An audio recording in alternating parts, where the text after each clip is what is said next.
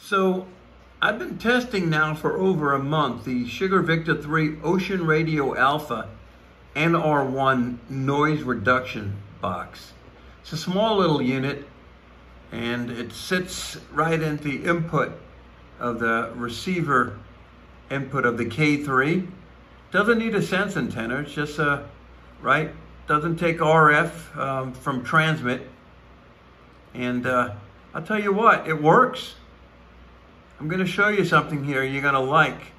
Anybody who has line noise, heavy line noise. Now, just to let you know, you have to beam right at the line noise. Whatever the direction of the line noise is where it works best. If you have multiple directions where line noise is coming from, it may not work. But when you have one steady source of line noise, uh, the same pulsing rate, it works fantastic. Watch this. I have the audio down on my K3. I'm going to turn it up. I have the noise blanker off. I'm beaming right at the US where my line noise is on a pole. And uh, this is with the noise blanker off. Now I'm going to turn the unit off.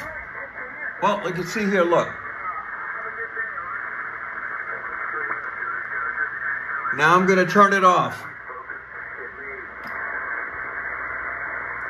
Wipes everybody out. You don't see any signals on the band scope. I'm going to turn it back on. That's uh, that's pretty impressive. The damn thing actually works well. Again, you have to be pointing right at the line noise. If you have uh, uh, beam in a different direction and the line noise drops down, you still have a little bit. It's it's in, it doesn't really uh, work really well. But when you're right at the line noise, in other words, when the line noise is loudest and it's worst, is when this thing works the best. So here we go again. Let me see if I find another signal. And that's what the line, the noise blanker. I'm gonna turn the noise blanker on, make it even better. Let me see if I find some good signals here on 20. This is on 20 meters. Let's see here. It's an S7 signal. Now I'm going to turn it um, off.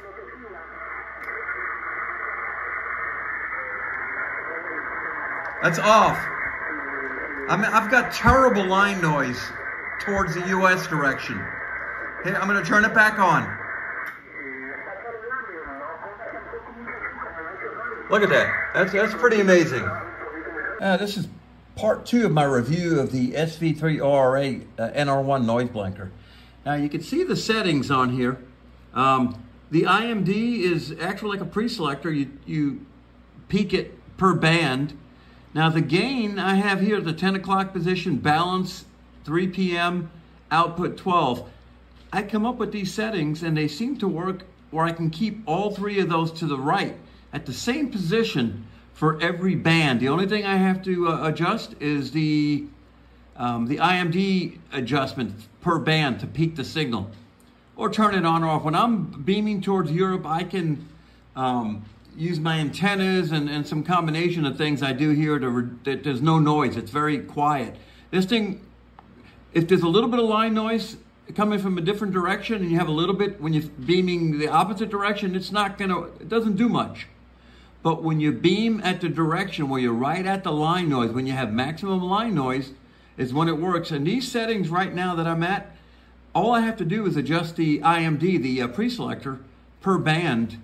And uh, we're going to use this in a contest. Now the gain has to be set down, otherwise you have little problems in a multi-multi or a multi-single environment but is another transmitter. So I've come up to about 9 or 10 o'clock where I don't have any problems and it, and it works fine. So um, it's, it, it's a game changer. If you have line noise in one direction, that's killing you. Um, I, I can hear JAs in towards the US, uh, HL with this thing on. Without it, I'm done until I figure out where that line noise is coming from. KP4AA. AJP, take a listen to this, 14250. Turn the volume up.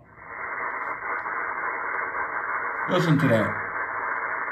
I mean, there's nothing you could work there. Now watch when I turn the NR1 on.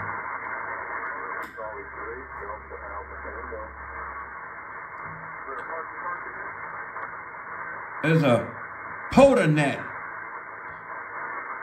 Parks on the air. That guys, a bunch of guys are calling in and working. And you can easily hear every single one of them. Now watch when I turn it off. That's beaming right at the U.S. Uh, at that pole, and it the same position on the NR1 works on all bands.